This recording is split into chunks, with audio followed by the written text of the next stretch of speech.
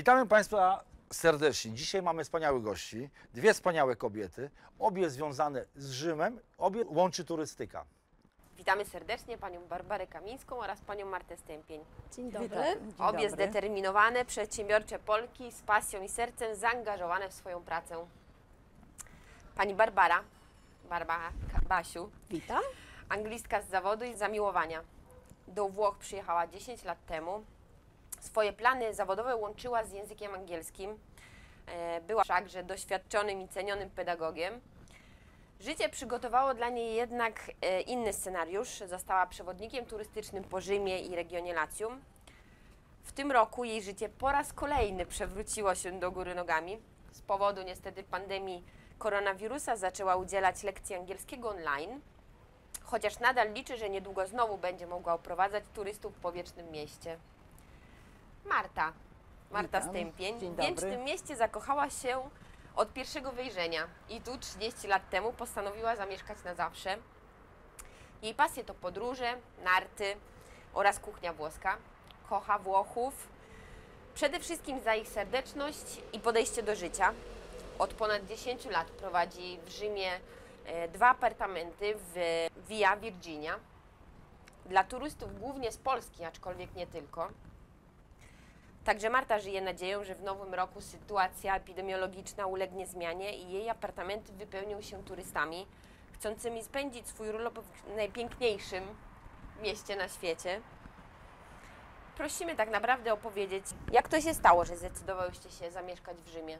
Może zaczniemy od Basi. Bardzo chętnie, witam serdecznie. Mm, No, takie rzeczy jak przypadek to rządzą często naszym życiem, więc w moim przypadku też tak było poniekąd, bo przyjechałam do Rzymu po raz pierwszy jako turystka, ale później ze względu na to, że mój były mąż pracował tutaj, to zdecydowaliśmy się przenieść do Rzymu i rzeczywiście na początku zdecydowanie y, byłam za tym, żeby dalej jakby zajmować się moją karierą, czyli dalej uczyć języka angielskiego. Ale Wywrotka, tak, w rzeczy samej. Wywrotka na, na, w takim sensie, że okazało się, że mm, bardziej mi się opłaca jednak pracować z turystami, ze względu na to też, że, że znam język angielski, bo po anglistyce, to okazało się, że mam po prostu przepiękną okazję, żeby wejść właśnie w turystykę i tak się zaczęła moja przygoda z turystyką. Także nauczanie języka zeszło troszkę na dalszy plan, a na pierwszy plan wysunęła się turystyka, głównie praca z turystami anglojęzycznymi. Ale Basiu, powiedz tak, bo to jest język angielski, pedagog i raptem turysta. Tak można przejść, trochę przygotowanie, jak, jak to wygląda? Bo to nie jest takie proste, nie, prawda? No, wspólna cecha to jest język angielski bardzo przydatny, prawda? Tak, zdecydowanie. To nie było proste, aczkolwiek okazało się, że można to bardzo łatwo pogodzić, y, ponieważ y, praca pedagogiczna to jest praca z ludźmi. Y, Jest to pewnego rodzaju nauczanie i podobnie wygląda też praca przewodnika, że to też jest pewnego rodzaju dzielenie się wiedzą. Jest troszeczkę inne, ponieważ praca w szkole, ja nie pouczyłam nigdy w szkole publicznej, ale w szkołach prywatnych, na kursach językowych, na uczelniach wyższych, więc była to praca głównie z dorosłym człowiekiem. Ale turystyka to też, oprowadzanie turystów po mieście, to też jest poniekąd trochę związane z taką pracą pedagogiczną, bo to jest uczenie, to jest uświadamianie turystów. Ale to przygotowanie, przecież to trzeba mieć wiedzę turystyczną. No nie wiem, no Rzym to jest ogromny, ogromny. Tutaj nie wiem, czy to się stanie poznać cały Rzym przez całe życie. Nie, tego nie, nie jest w stanie chyba nikt zrobić. Natomiast no na pewno wymagało to ode mnie bardzo dużo pracy, dużo nauki na początku, makabrycznie dużo nauki, bieganie po mieście i tak naprawdę yy, poznawanie tych wszystkich miejsc, które w Rzymie są, tych bardziej znanych i tych mniej znanych. Więc to wymagało rzeczywiście ode mnie no, kilka lat yy, porządnej nauki i pierwsze kroki w turystyce stawiane. Y, Natomiast no, ciągłe douczanie się, nawet dzisiaj po tylu latach, to jest ciągłe douczanie się, ciągłe poznawanie i ciągłe e, odkrywanie nowych rzeczy, bo trzeba też pamiętać o tym, że w Rzymie to się też zmienia. Są nowe prace na przykład związane z konstrukcją metra i podczas prac archeologicznych czy prac konstrukcyjnych coś tam się nowego znowu odkrywa i trzeba znowu czytać, douczać się, dowiadywać się, y, pójść, zobaczyć jak to wygląda, żeby móc to przekazać później turyście. A w jakim języku? Y, w jakim języku ja Bo nauka też pracuję. polega na na przykład tak jak myślimy w języku włoskim czy angielskim, trzeba się tak przestawić tak naprawdę. Tak, ja przede wszystkim pracuję w języku angielskim i generalnie jeśli się uczę czegoś nowego w turystyce, to najczęściej jest to język angielski. Natomiast jeżeli to są prace archeologiczne w Rzymie, to te publikacje są przede wszystkim w języku włoskim, więc czytam w języku włoskim. Ale u mnie natychmiast jest jakby przestawienie na język angielski, bo to jest mój główny język, w którym ja pracuję. Później jest język polski czasami w języku polskim, jak mam grupy, to się zastanawiam, jakie to jest słowo po polsku, gdzieś mi to czasami um- umyka jednak.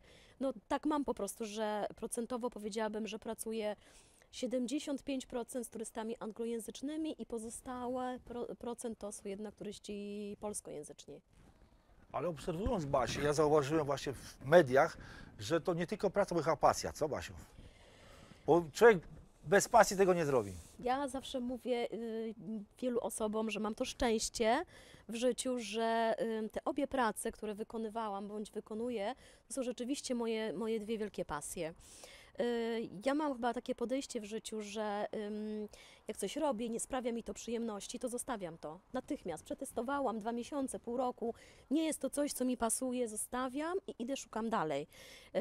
Miałam to szczęście, że jeszcze na studiach, jak byłam w Polsce, dostałam propozycję pracy w szkole językowej. I rzeczywiście obudziła się we mnie ta wielka pasja do dzielenia się wiedzą, szczególnie moja pasja do języka angielskiego, bo zawsze jestem, zawsze byłam i jestem zakochana w angielskim. No i później y, podobna, podobne te rzeczy mogłam wykonywać w kolejnej pracy. Ja jadąc do Rzymu nie spodziewałam się, że moja wielka pasja, czyli uczenie języka, będzie musiała się zamienić na inną pracę. Dla mnie to był wielki dramat tak naprawdę. Ale dramat, który później odwrócił się na, na coś pięknego. Ja się zakochałam w Rzymie. I akurat muszę powiedzieć, że w moim przypadku to nie była miłość od pierwszego wejrzenia, bo ja pierwsze dwa lata w Rzymie bardzo cierpiałam, bardzo mi tu źle było. Wiele rzeczy nie mogłam gdzieś tam ogarnąć, tego całego systemu, ale już jak się zakochałam w Rzymie, to już chyba się nie odkocham do końca życia. Więc to taka właśnie pasja. Nie dosyć, że język angielski, który kocham, dosyć, że pracuję ludź, z ludźmi z całego świata, to jeszcze pracuję w moim ukochanym Rzymie. Więc chyba już bardziej szczęściarą no I nie te mogę mankamenty być. ci nie przeszkadzają. Już To, mankamenty czyli, to jest prawda, miłość jest ślepa. Poniekąd. Miłość jest ślepa, to prawda. Owszem, za, zauważam pewne rzeczy do, do dziś dnia, pewne rzeczy, które mnie tutaj strasznie irytują w Rzymie. I po tylu latach nawet, m, jakbym miała kałacha, to czasami bym strzeliła komuś w głowę na ulicy. To są takie odruchy, ale y, ja nauczyłam się skupiać na tych rzeczach, które są piękne, na pozytywach. Jak widzę na przykład turystów, którzy przyjeżdżają i marudzą, bo to jest brudno, bo tu pod koszami są sterty śmieci.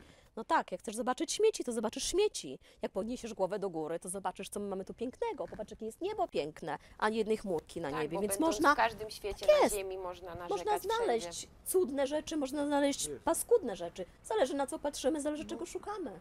Lepsze rzeczy trudniej znaleźć. Zależy jak szukamy. Tak. Marto, 30 lat temu, co tobą kierowało? Więc moja historia jest. Przyjechałam tutaj y, w 92 roku pierwszy raz y, do Italii i do Rzymu. Aczkolwiek jeździłam po Europie Południowej i zawsze mnie te kraje pociągały, kraje bałkańskie, Grecja, Hiszpania. Y, Mój przyjazd był taki spontaniczny, trzy miesiące pobyć w Rzymie, popracować, troszkę liznąć języka. No ale niestety, jak, jak, jak, jak po przyjeździe zobaczyłam Rzym, to była miłość od pierwszego spojrzenia. Jak nie patrzeć ta miłość? Ta miłość. Jednak Rzym wciąga, że Rzym jest magicznym miastem, pięknym miastem. Nie zapominajmy, że w latach 92 to był pusty Rzym, było mało turystów. Nie wyglądał on tak jak w zeszłym roku czy, czy, czy trzy lata temu. Yy, aczkolwiek yy, kochane miasto. Ja mm, staram się patrzeć zawsze pozytywnie i nie, nie, nie, nie patrzyłam na śmieci, tylko patrzyłam na Koloseo i, i zabytki. Oczywiście to nie tylko Rzym jako miasto, yy, jako wielkie muzeum europejskie, ale i kuchnia i ludzie. Zafascynowali mnie ludzie z takiej szarej Polski, jeszcze takiej postkomunistycznej, Włosi swoją spontanicznością, otwartością, uśmiechem mnie zauroczyli. I tak zostałam. Zostałam, pracowałam 20 lat w zawodzie jako babysitter. Wychowałam dwóch wspaniałych chłopców. Ściągnęłam w międzyczasie syna, który tutaj y, kontynuował naukę w szkole średniej, następnie studia i po 20 latach zakończyłam ten etap pracy. Z wielkimi pomysłami, co dalej. Miałam tysiące pomysłów od sklepu do groty solnej. No i ktoś mi doradził turystykę, gdzie to był dla mnie całkowicie nowy temat, bo ja, dla mnie turystyka to, to było, ja wyjeżdżałam i ja y, nocowałam w hotelach i, i, i nie bardzo wiedziałam, jak to ugryźć, ale że jestem taką kobietą silną i, i, i determinacja, również chciała, chciałam coś nowego w swoim życiu y, zrobić. Y, Miałam też już wiek, bo to było 50 lat. Można, można. No i, i, i poleciało. Było, było bardzo ciężko na początku przebić się przez biurokrację, zrozumieć to. Y, Zaczęłam z jednym apartamentem za pomocą syna. I zaraz po paru miesiącach mi się trafił ten, w którym akurat jesteśmy, więc y, remonty, umeblowania, później cała, cały system biurokracji, uczenie się, y, jak, jak y, klienta zadowolić, mediów, Facebooka, żeby się zareklamować. Ale mnie się to bardzo spodobało. Chyba to jest moja pasja i zawód mojego życia. Przede wszystkim co? Będąc emigrantką, miałam mały kontakt z Polakami. Więc ja się do pierwszych moich turystów y, śmiałam, że po prostu Polska przyjeżdża do mnie. Lubię przebywać z turystami, lubię im pomagać, lubię im doradzać, gdzie zjeść, gdzie, gdzie, gdzie zakupy zrobić. Czasami wychodzę z turystami na spacery po Rzymie mm, czy do restauracji. I, I taka to jest moja historia. To, czyli to prawda jest, co, co można było znaleźć w komentarzach w sieci, że u Ciebie jest jak w domu, tak? Tak, tak, tak. Ja staram się być y, dla turystów jak matka Polka. Jak Ktoś- matka Polka. Ktoś kiedyś powiedział, że żeby do Rzymu przyjechać, nie, żeby w Rzymie się zakochać, trzeba do niego przyjechać. Tak. Tak naprawdę. A co w Was urzekło i urzeka do dzisiaj w Rzymie? No, ja przede wszystkim, u mnie to jest historia, to jest piękno tego miasta, to, co mnie zachwyca do dziś dnia i to, co zawsze mówię, że życia nie wystarczy, żeby Rzym poznać. Yy, Ja wykonuję moją pracę tutaj, pracę przewodnika już ponad 10 lat i powiem szczerze, że y, ciągle są miejsca, y, kiedy czuję się zaskoczona. To jest to, że to jest taka trochę niekończąca się historia. Jakby ciągle jest coś i to ciągle pcha mnie do przodu, żeby jeszcze doczytać, dowiedzieć się, poznać, pójść, zobaczyć, opowiedzieć komuś innemu o tym, pokazać to piękno. Także to mi najbardziej chyba tutaj tak y, motywuje do tego, żeby dalej się rozwijać. Marta? Y, Jako już mieszkanka Rzymu, 28 lat, mieszkam tylko i wyłącznie w Rzymie. Rzym fascynuje. Rzym to historia. Rzym jest piękny, Rzym jest magiczny. Oczywiście jako mieszkanka mo- m, musimy tutaj sobie powiedzieć, że, że ma też i strony czarne, negatywne. Jest, jest chaotyczny, jest y, y, zakorkowany. Czasami nam dokuczają strajki y, publicznych, y, transportu publicznego, ale Rzym rekompensuje. Wystarczy wyjść na Starówkę do centrum, przejść się uliczkami, ta magia tego Rzymu, zapach Rzymu, Rzym nocą. Rzym nocą Piękny czy Rzym jest. dniem. Rzym o zachodzie czy- słońca, te wszystkie piękne Yy, zachody. Oczywiście, Mhm. więc mm, no naprawdę y, ja, to jest chyba moje miasto, ja się w nim dobrze czuję i, i kocham go. Obie jesteście cenione za pracę, e, którą wykonujecie. Ty, Basiu, za profesjonalizm i pasję, jaką opowiadasz o wiecznym mieście. Widać i słychać i czuć. Ty, Marto, za wspaniałe podejście do turystów. Co jest takiego w Was wyjątkowego, że y, turyści chcą wracać? To jest trudne pytanie. Ale Trzeba trzeba by było odpowiedzieć. Trzeba by było turystów. właśnie. Trzeba byłoby zapytać Aczkolwiek turystów, nie było tak? nic nigdy. A czy, znaczy Nie, ja, no tak, ja myślę, że w em, moim przypadku to rzeczywiście chyba jest moje pozytywne nastawienie. Ja wszystkich turystów witam zawsze z otwartymi rękoma i staram się im przekazać y, jak najwięcej pozytywnych, wspaniałych rzeczy o tym mieście, y, zafascynować ich. Y, Wiele osób po, takim, po takich kilku godzinach spędzonych ze mną y, mówią mi, ależ pani tak opowiada o tym Rzymie, że ja chcę teraz jakąś książkę, może pani coś poleci, może bym coś poczytał jeszcze. Jak słyszę coś takiego od turysty, to jest to dla mnie naprawdę wielka nagroda. Zarażasz. Powiedziałabym. Ym, m- Myślę, że poniekąd tak, ale to jest też coś takiego, że tak jak Marta zauważyła, y, z tej takiej trochę smutnej, szarej y, polskiej codzienności przyjeżdżamy tutaj i na początku ja też miałam problem, żeby się w tym odnaleźć, bo tutaj raptem wszyscy są hałaśliwi, głośni, bardzo otwarci. Mnie denerwuje to, że w metrze ktoś stoi naprzeciwko mnie, chucha mi w twarz. Trzeba było się do takich rzeczy przyzwyczaić, których w Polsce nie było i po jakimś czasie zauważam, że ja się staję jedną z nich poniekąd, więc to zaraża. To jest trochę taki, ja zawsze Ten mówię, optymizm, nie? ja mówię bardzo często moim turystom, słuchajcie, Rzym jest jak narkotyk. Uważaj, jak przyjedziesz i się zakochasz, już się nie odkochasz i to będzie tak, że będziesz ciągle tutaj wracać. Tak, tak. Mówię czasami, jak jesteśmy przy fontannie Trevi, uważajcie, jak będziecie wrzucać monetę. Ja wrzuciłam kiedyś raz monetę i ugrzęzłam w Rzymie na 14 lat. Więc to jest właśnie to, Rzym zaraża, jest jak narkotyk. I to wydaje mi się, że ta moja miłość do miasta, rzeczywiście do tego, co robię, zaraża po prostu innych. Ja mam rzeczywiście takich turystów y, z paru pięknych zakątków na świecie, którzy do mnie wracają, którzy za każdym razem, jak tylko myślą o Rzymie, to od razu się do mnie odzywają i piszą, słuchaj, co ty myślisz o tym? Robimy?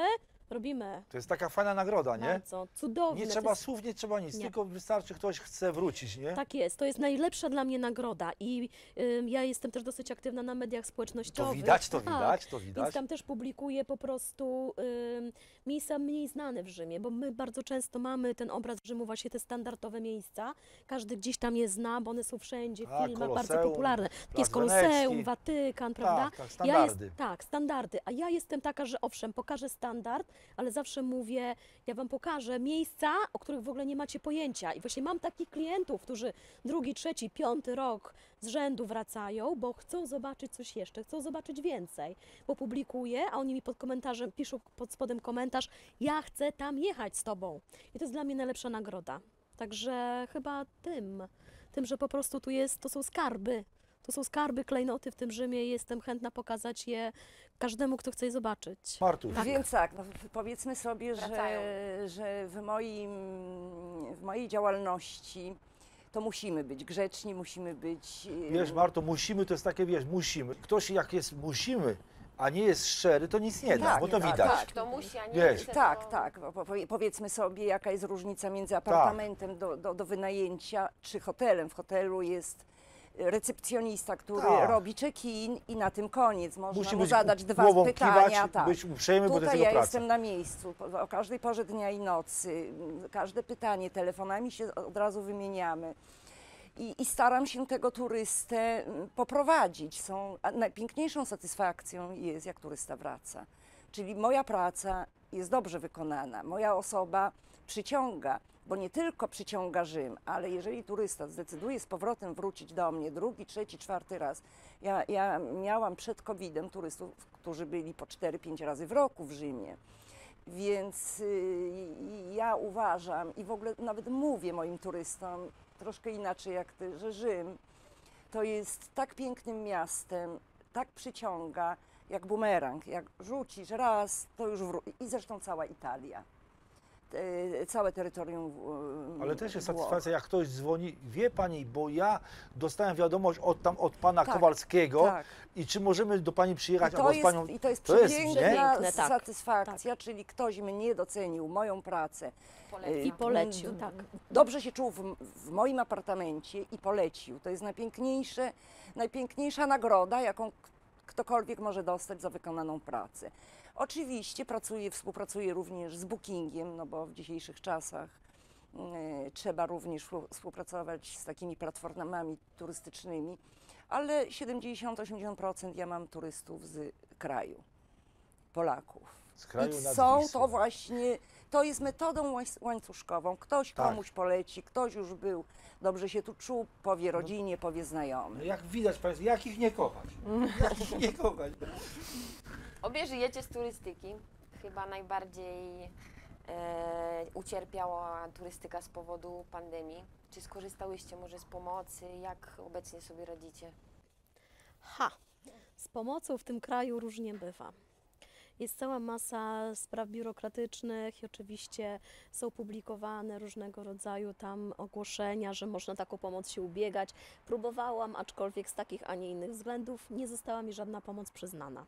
Oczywiście jest to związane z tym, że jak ma się, jak się prowadzi własną działalność gospodarczą, to tam trzeba mieć po prostu całą masę różnych warunków spełniać, to później jest rozważane. Mi taka pomoc nie została przyznana. Pomimo tego, że mieszkam tutaj z dzieckiem, jakby to też nikogo nie interesuje. Najważniejsze jest to, że nie spełniam pewnych warunków. W związku z tym, nie czekając na pomoc, ja w ogóle jestem takim typem, że. Tak, bo takie mm, pytanie, z czego żyjesz, kochana? No właśnie, Z czego żyjesz? No, ja jestem takim typem, że nie czeka na pomoc od rządu, nie czeka na pomoc z góry, tylko jestem takim typem, że zataczam rękawy i myślę, co dalej. Bo ja chcę żyć, i chcę żyć dalej, fajnie, normalnie. Więc e, kolejnym razem wywrotka w moim życiu to i sobie właśnie tak myślałam jakiś czas temu, że to, co było wielkim powodem mojej rozpaczy, kiedy tutaj przyjechałam i nie, nie bardzo mogłam kontynuować pracę pedagogiczną, nie bardzo mogłam uczyć e, języka i przekszt- przekształciłam tą moją pracę w e, coś zupełnie innego, czyli przeszłam na turystykę, to tym razem e, taka okazja się nadarzyła, że z powrotem mogę do tego wrócić. Więc powstał taki pomysł jeszcze podczas lockdown, że zrobiłyśmy grupę językową, grupę konwersacyjną i przez e, Zooma, żeśmy z dziewczynami, miałam chyba 8 czy 9 dziewczyn, które chciały się uczyć języka angielskiego, chciały sobie podszkolić troszkę konwersację, mówienie, żeśmy się codziennie spotykały przez prawie dwa miesiące. Codziennie robiłyśmy właśnie takie konwersacje. Każda z nas siedziała w domu, był lockdown, nie było nic innego do roboty. Tak się to zaczęło i praktycznie od maja zaczęłam też e, prowadzić już regularne zajęcia z języka angielskiego. Bo ile to można sprzątać w trakcie lockdownu? E, w, lo- podczas lockdownu powiem szczerze, że chwaliłam się tym, że mam brudne okna i do dziś mam brudne okna. czyli tak zwane, nie? To co zawsze, Polki sobie radzą. Więc skąd my te hasło znamy? Ta grupa jest silna, nie? Ja Marto, myślę, że coś w tym jest, nie? udało się Mhm. skorzystać z pomocy Nie, mnie również się nie udało, nie spełniłam warunków, y, jakie były wymagane przez, y, przez państwo. Y, Jedyną pomoc, jaką mam, to y, od właścicieli mm, dwóch apartamentów, ponieważ moja działalność jest y, w apartamentach wynajętych i tutaj mi poszli na naprawdę mm, otwarcie na rękę, że nie płacę. Od marca nie płacę za, za wynajem obydwu apartamentów. Do czerwca więc żyłam z oszczędności. Lipcu miałam trochę turystów, y, lipiec, sierpień, wrzesień i październik. A w, ym, teraz wynajęłam na dłuższy okres jeden apartament dwóm studentom, notabene Polakom, którzy przyjechali studiować. Y, Chłopak studiuje y, muzykę, dziewczyna architekturę. I, czekamy, aż się to wszystko zmieni, mając nadzieję, że, że prędzej czy później wirus odpuści i zaczniemy minimalnie pracować. Już prędzej teraz mi się wydaje, już prędzej, już jest. Wszyscy na to liczą. Każdy nie? liczą na zmiany w Tak, 2021 roku. Czy myślicie, że się zmieni właśnie coś w turystyce? Zaczniemy znowu wyjeżdżać bez obaw, bez problemów, bez granic? Ja jestem optymistką i ja zawsze myślę, że tak. I ja mało właściwie obserwuję to, co się dzieje na co dzień, bo nie chcę mi się tym zajmować. a Już najmniej interesują mnie w ogóle jakiekolwiek spiskowe teorie, ale zawsze sobie powtarzam, że każda rzecz ma swój początek i koniec, więc jak się wirus zaczął, to w końcu musi się skończyć. To jest pierwsza podstawowa rzecz, która Ale mnie gdzieś tam trzyma. w Oczywiście, dzie- że dziejach tak. ludzkości, to Pewnie, wiesz. więc jakby nic nowego. Epidemie były, są i będą, tu się nic nie zmienia i nie zmieni, podejrzewam.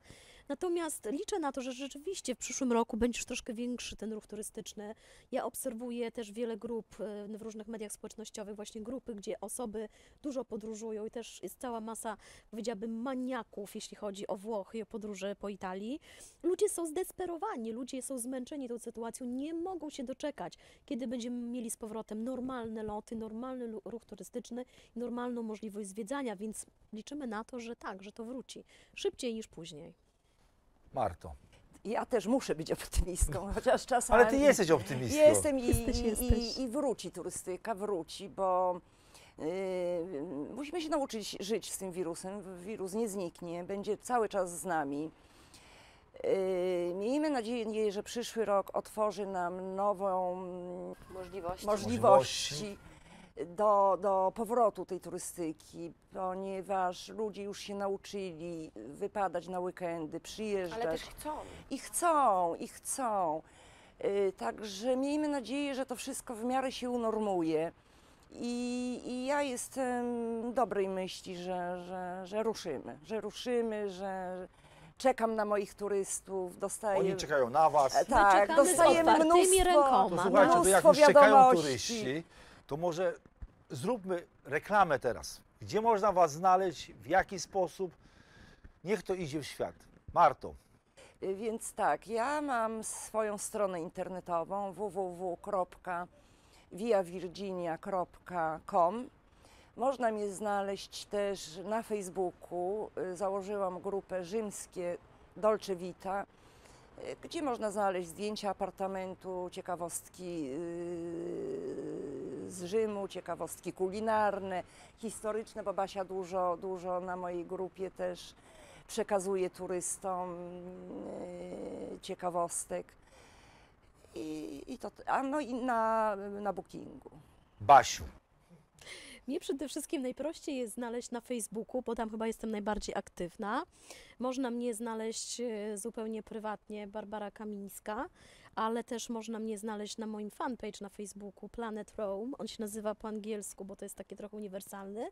I oczywiście pod takim e, samym tytułem można mnie znaleźć na Instagramie, gdzie publikuję też dużo rzeczy. Planet Rome. Planeta Rzym w wolnym tłumaczeniu na język polski. Także y, tam najwięcej się teraz y, publikuje. y, Ale jestem też na moim osobistym profilu. Jak ktoś znajdzie mnie na moim osobistym profilu, na tym profilu, tak, są wszelkie informacje, gdzie można mnie znaleźć. I na Facebooku, i na Instagramie. Zawsze odpisuję też na wszelkie wiadomości, także jestem bardzo dostępna. Aktywne. No to widać, aktywność widać, Basi, to widać. To nie da się ukryć. Bardzo dziękujemy. Dziękujemy. Miło było poznać. Dziękujemy bardzo. Miło Miła było rozmowa. posłuchać. Zapraszamy turystów do Rzymu. Tak Zapraszamy. jest, zapraszamy Zawsze i o każdej porze. Tak. A my Państwu przekażemy wszelkie informacje na temat pani Marty i pani Basi, żebyście wiedzieli, gdzie je znaleźć, jak do nich dotrzeć. No i przyjeżdżajcie. Przyjeżdżajcie, Czekamy na Was się wszyscy, szczególnie Zobaczyć, nasze żeby kobiety. się zakochać.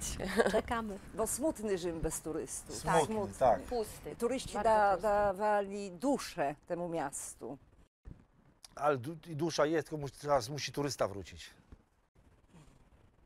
Okej, Będziemy kończyć. będziemy kończyć. Dziękujemy. Dziękujemy. Dziękujemy.